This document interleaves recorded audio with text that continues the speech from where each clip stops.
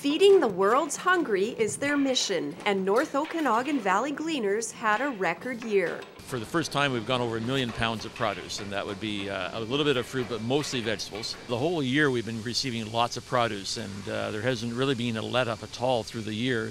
The plant is based in Lavington, and it's here where they make a dehydrated soup mix using donated produce from farmers. Most of the food we get uh, comes from the large uh, growers and producers. Some of it is local. Uh, over half of it currently would be coming from outside of the North Okanagan area but it's all surplus. Each bag of soup provides 100 meals, and volunteers work together to create the mixture. We'll have people who are cutting the vegetables. Uh, we dice it into small pieces, put it into the racks, dry it, and put it into all these containers around here.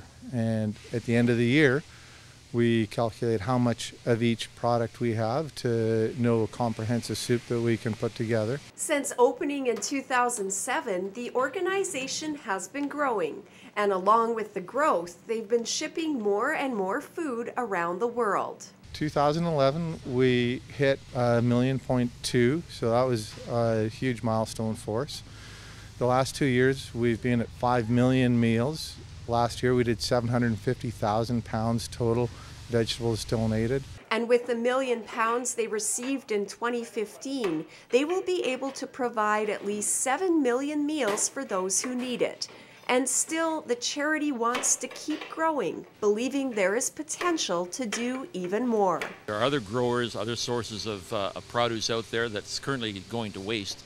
So we know if we can bring that into the building here, if we can get enough volunteers, and if we can upgrade our equipment, we should be able to double our production uh, within a few years. The organization depends heavily on donations, but in order to continue growing, the key ingredient is finding more volunteers. Without the volunteers, uh, all the equipment and all the, uh, the donations of, uh, of supplies really wouldn't mean anything. We need volunteers to actually turn it into the final product, which is a, a soup mix to feed the hungry.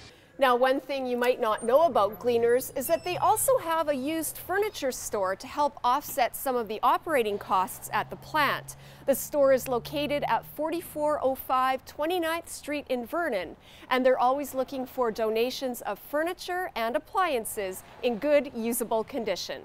For Go on Shaw TV, I'm Jamie Ross.